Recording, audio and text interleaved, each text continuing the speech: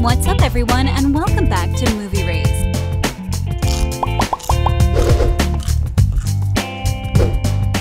The after movie makes major changes to the story of Tessa Young and Hardin Scott from the original book by Anna Todd.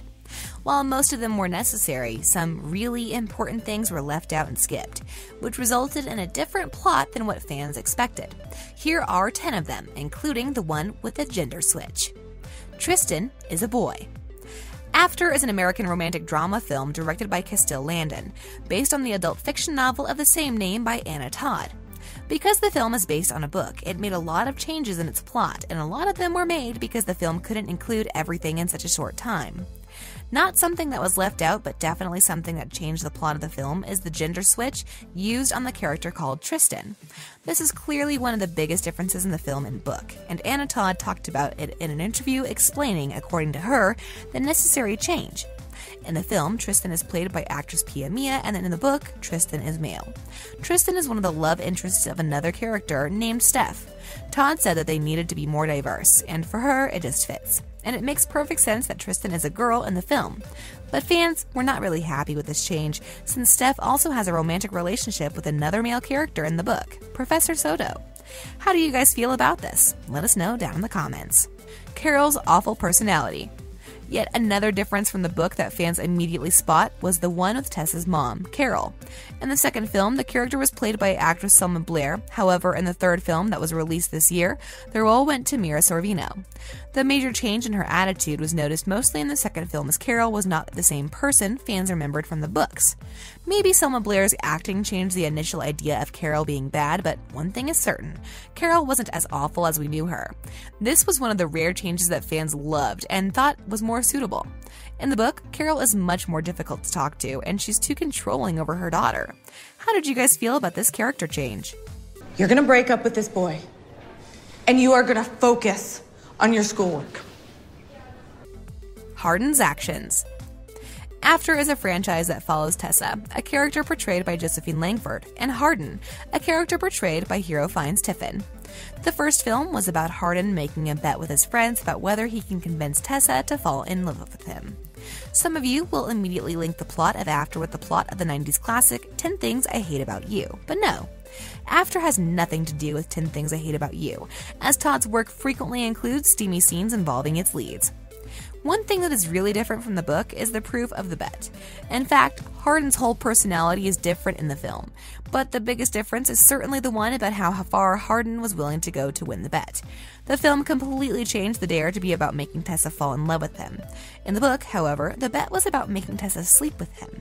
The book also involves more details about the bet, such as Hardin keeping the bloodied sheets from their night together as proof to his friends. Also in the film, Hardin offers to help Tessa after her mother kicks her out.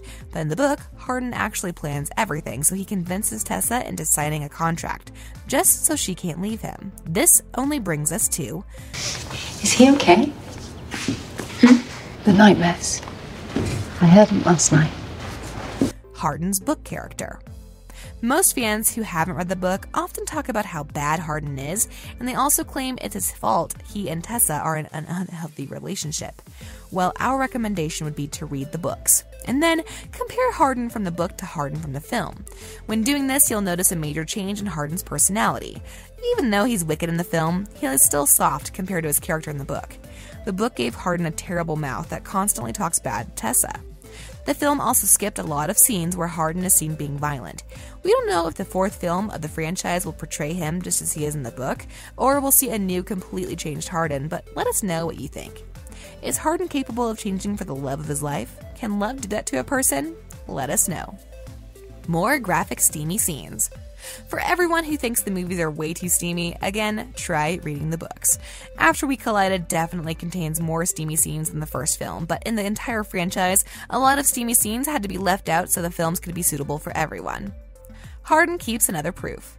When we said Hardin was awful in the books, we weren't exaggerating. One instance perfectly proves how bad he is. He literally keeps his used condom after sleeping with Tessa for the first time as yet another proof he won the bet.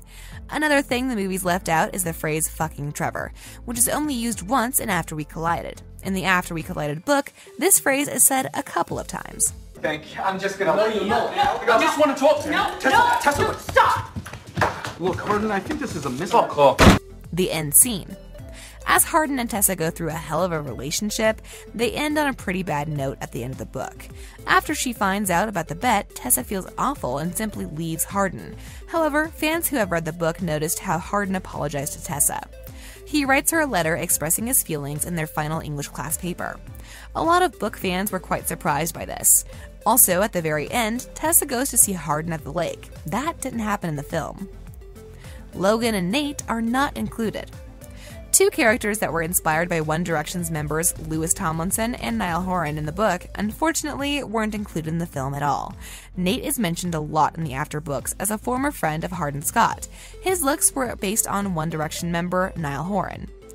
Nate is one of those characters that keeps himself out of all those messed up situations Hardin finds himself in.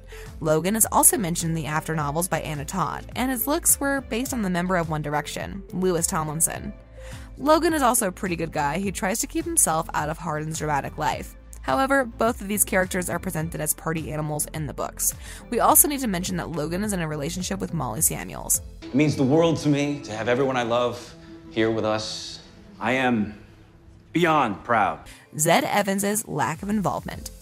Zed is one of the characters with an ignored appearance on the big screen. He and Hardin go through a lot of arguments in the book, and because the film chooses to neglect him, there weren't enough storylines for us to see their unfortunate meeting on screen. Zed is very similar to Hardin when it comes to their looks, but they are nothing like when it comes to their personalities.